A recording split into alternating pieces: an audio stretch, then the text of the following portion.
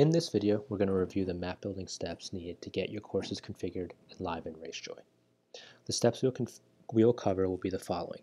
Enable your events, load in your course routes, generate markers, set up your timing configuration, review courses for any proximity and out and back issues, then certify your map.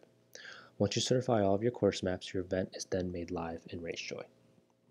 So to begin this process, head over to your RunSignUp Race dashboard and go ahead and select the RaceJoy tab and then select Setup and select the appropriate events to enable.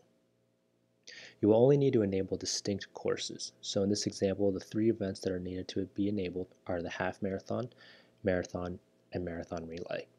The two registration options for corporate teams do not need to be enabled as those course paths are not distinct. Once you have enabled your events, head over to Add Course Map and select Load My Course Map or Adjust Course Map if you've already loaded in your maps. You'll be able to export your maps using map builder tools such as MapMyRun or Plotaroute, and you'll load each course route in KML or GPX format. So to load in your KML or GPX file, select Actions, Import Map Path, Browse, and then find and select the file. At this point, we will now generate markers. So by default, we generate markers every mile for running events and every five miles um, for bike events. So to change um, mile markers generated to five miles, simply change the one to a five. In this, in this example, we're using a running event, so we'll generate markers at every mile.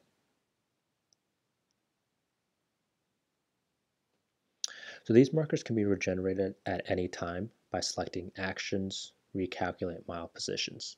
This comes in handy if you accidentally move one of the mile markers off the course and you need to move the marker back to the exact GPS locations. So let's move mile 6 out here for example and we'll hit actions, recalculate mile positions, generate, and we'll now see that mile 6 gets moved back to the original GPS location. Once markers have been generated, we now need to ensure the location of the markers are correct and match your certification or signage. This also applies to your start and finish markers. As timers, you know exactly where you are placing your timing mats down on the course, so be sure to match the location of where your mats are with what is loaded in RaceJoy. We want to provide a consistent experience to participants so that what they see on the course matches up with what they hear in RaceJoy. We provide a few options to ensure marker locations are accurate, you can use our default map view to see street intersections and be able to zoom in and move mile markers to specific street intersections or locations. We also provide you with satellite view so you can zoom in in satellite view and again see more specific details. So in this example, if your certification says that mile 13 is around the crosswalk, you can see the crosswalk and you can move mile 13. We also have street view you can access Street View by clicking and dragging on this icon onto the course. And let's say your certification says that mile 13 is located right um, at this manhole cover here. We can go ahead and click and drag on the mile marker within Street View and just make sure that mile 13 is placed correctly right above this manhole cover. If you select the back arrow button, you'll see that mile 13 has been moved to the manhole cover. Once we have our markers generated in the right location, we'll now have to configure those markers so that they fire in the correct sequence. Remember that we use distance to sequence the order at which each marker will fire. So to, head, to do this, head into your timing configuration up here, and you can use the autofill distance, and we'll automatically fill in the distance at each mile marker. Now the finish distance is something that you will have to manually fill in after auto-filling in the distance. So go ahead and manually type in the distance of the finish, which is 13.1 miles. Go ahead and save your configuration, and you can now see that we automatically uh, set up your configuration in sequential order based on the distance. Be sure to always save your map as you go by clicking on the green Save Map button. This is always uh, good to be doing um, with each step. So next we'll review two types of issues that you'll see in RaceJoy, proximity and out and back. First, let's take a look at a proximity issue. You can use the toggle marker radius tool by heading into Actions, Toggle Marker Radius, and we'll use this tool to determine if there is a proximity issue. So when you zoom in, you'll be able to see the read field of each marker. So what we're looking for is a read field for a marker that comes into contact with another part of the course. So if we drag along on the course, let's take a look if we see any issues here. Everything looks good here. Um, and if we come here, we see that the radius field for mile three intersects with another part of the course. So let's see what the runners are doing here. So runners are coming down here. They'll run past mile two. And when they come down here, when they reach this location where it intersects, they're really only at mile 2.8. And they don't hit mile three until they run down and around and back up. So here at mile 2.8, let's take a look here.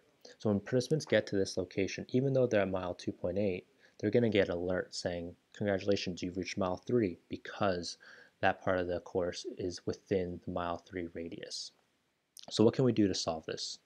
Well, we can reduce the radius so that it doesn't include the, inner, the path where participants are on 2.8 here. So if we head into timing configuration, let's take a look at mile 3. Now let's drop the radius from the defaulted 60 meters to 25 meters, which is the lowest we allow for. Go ahead and hit save. And we'll close out of our configuration. And now you can see that the radius or read field has been dropped. And when participants are running down here, when they reach 2.8, they won't get an alert saying they're at mile 3 until they've come down and around and tr are truly at mile 3. So this solves your, your proximity issue. The next type of issue we'll look at is an out and back issue. So let's head to mile 8 and 9. So visually, you can already tell that the distance between the, these two markers seem fairly close. But RaceJoy can let you know for sure if the distance between the two markers are in fact one mile or something else. If you select onto mile 9, and then select Calculate Distance. RaceJoy will show that this marker falls onto the path 8.2 miles into the race and also 9 miles into the race. Meaning, the first time runners cross the mile 9 marker, they're truly only at 8.2 miles, and they do not reach mile 9 until their second pass when they run past mile 9 and back across. This means we have an out and back issue, as we cannot fix this by lowering the proximity of mile 9 down to 0. So to fix this, we'll need to add an intermediate timing marker. So to add an intermediate timing point, select the pin tool in the top right hand corner. Then you'll want to click on the location to drop the pin. So let's drop our pin right around here. Then select the hand tool and click onto the drop pin and we'll go ahead and complete our marker setup by naming the marker and we'll go ahead and name it mile uh, 8.5. We'll select the layer category. For all intermediate timing locations, you'll set the category to mile marker. Then you'll select an icon. We'll go ahead and select the stopwatch icon. And we'll set a title for this uh, marker here. You can then use the Calculate Distance button to determine the distance location of this marker, which will be needed when setting up the configuration. In an out and back situation, we'll, we'll always use the first pass at this marker. So in this example, we'll use 8.5 as the distance of this marker. If you click onto 8.5, RaceJoy will copy this number into your clipboard. Again, this will be helpful in the next step when we're configuring this marker. So go ahead and click on 8.5 we'll save this marker. So next, let's configure this newly added timing point by heading into your timing configuration. And you can see now we've created a mile 8.5 marker.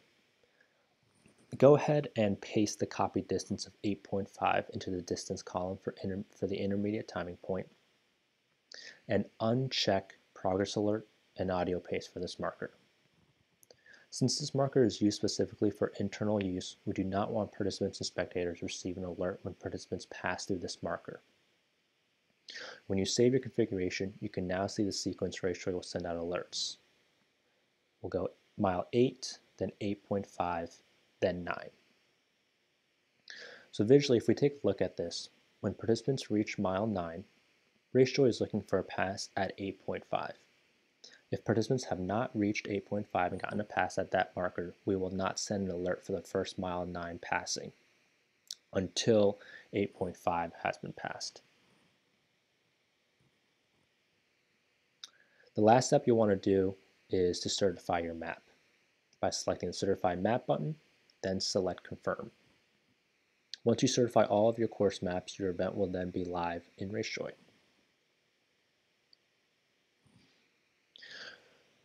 So to recap the map building process, you'll enable your race, upload and adjust your course maps, generate your markers, set up your timing configuration, review for proximity and out and back issues, then certify your maps.